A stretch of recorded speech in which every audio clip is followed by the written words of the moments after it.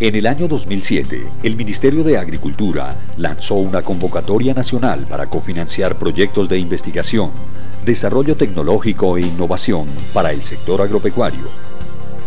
En esta convocatoria, uno de los proyectos favorecidos fue diseño y construcción de vivienda con elementos estructurales en cuadro laminada, prensada, pegada enmarcado dentro del programa Innovación para el fortalecimiento de la productividad de la cadena de la guadua en la provincia de Río Negro del departamento de Cundinamarca, con la Universidad Nacional de Colombia como entidad investigadora y la participación de Corpo Ibama, la Gobernación de Cundinamarca y el municipio de Pacho como entidades colaboradoras y Guaduacol como entidad productora.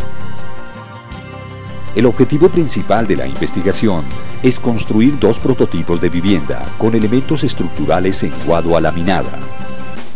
Con esto se pretende mostrar la viabilidad del uso industrializado de la guadua en la construcción sostenible para viviendas competitivas económicamente, de calidad, excelentes acabados y apariencia moderna y agradable.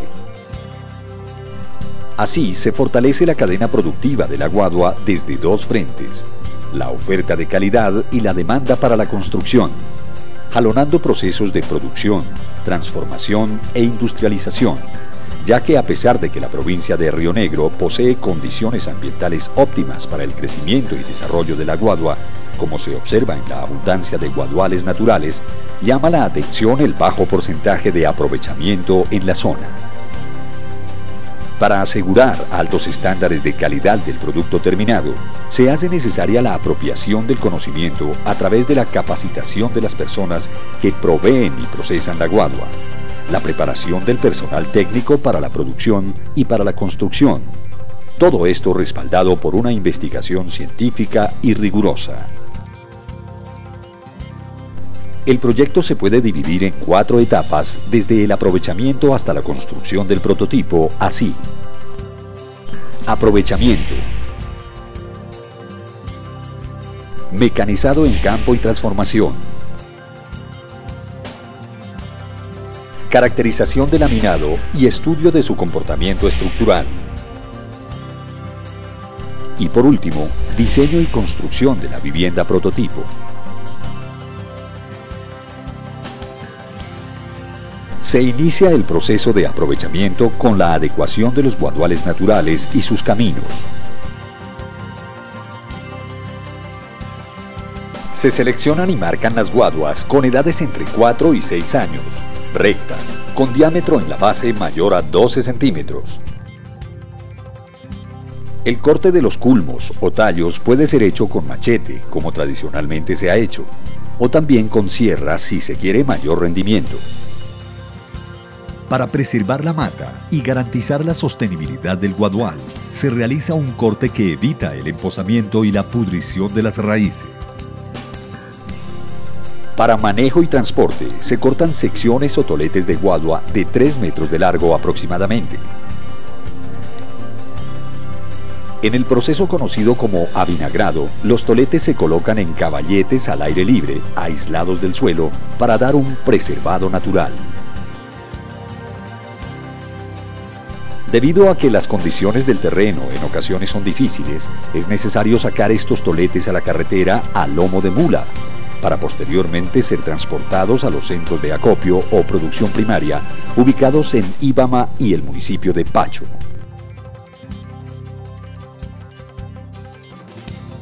Sin embargo, muchas veces se daña la guadua por la imposibilidad de llevarla a estos centros debido al mal estado de las carreteras especialmente en épocas de lluvias, donde queda incomunicada la región.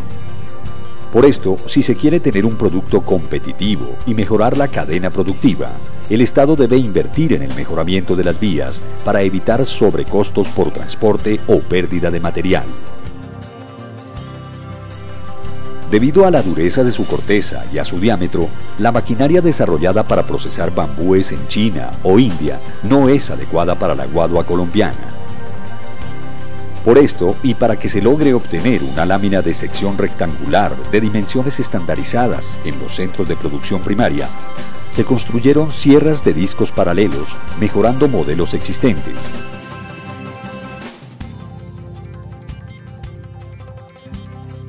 Con estas sierras se obtienen latas del aguado a rolliza y a partir de estas, láminas con terminado a cuatro caras que se airean y apilan para ser enviadas al horno de secado y posteriormente a la planta de laminados localizada en la sede Bogotá de la Universidad Nacional de Colombia. Una vez allí, se disponen de tal forma que tengan suficiente aireación para evitar los hongos que se pueden presentar en láminas que permanecen mucho tiempo empacadas en plástico.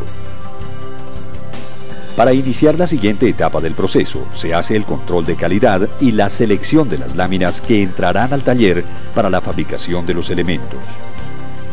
En algunos casos se hace un proceso de planeado y maquinado a las láminas hasta obtener láminas con las dimensiones especificadas y un excelente terminado.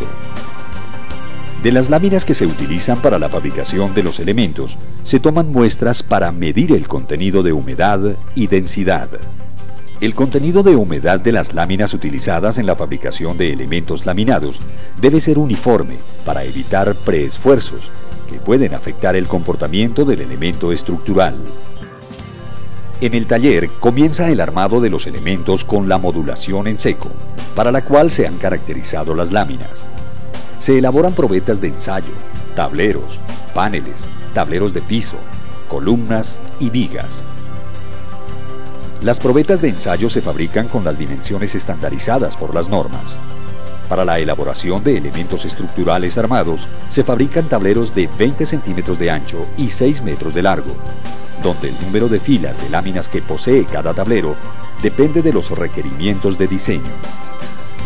Una vez se han fabricado los tableros, se ensamblan los paneles en sección sándwich, los tableros de piso en sección T y las vigas y columnas en sección cajón.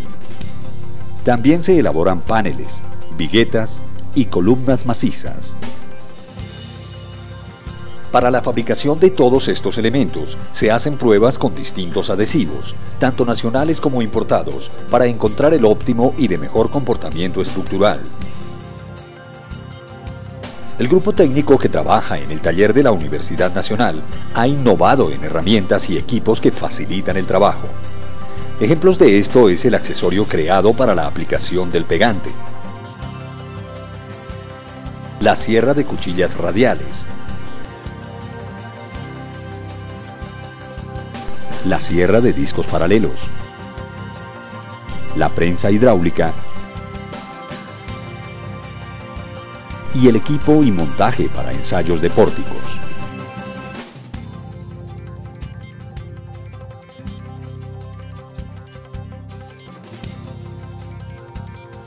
Después de tener los elementos modulados, encolados y armados, se les aplica presión constante en frío por el tiempo requerido dependiendo del adhesivo utilizado.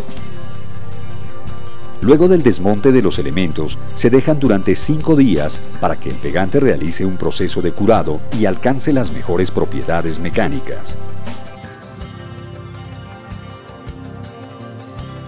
Una vez curados, los elementos pasan a la máquina de corte para darles sus dimensiones finales y al cepillo para tener el terminado requerido. En ese momento, además de las probetas que irán a las pruebas de laboratorio, se cortan los módulos que conformarán elementos estructurales.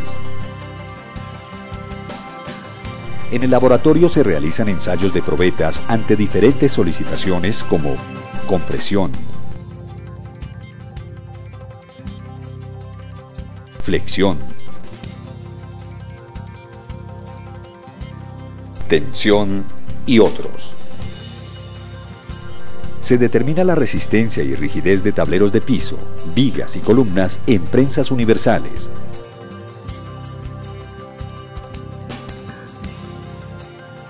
y de pórticos en montajes especiales donde se aplica carga vertical y horizontal. El ensayo de carga horizontal de los pórticos se realiza en un marco de pruebas con un actuador dinámico, el cual aplica fuerzas y desplazamientos para evaluar el comportamiento del material, de los elementos y de las conexiones ante eventos sísmicos.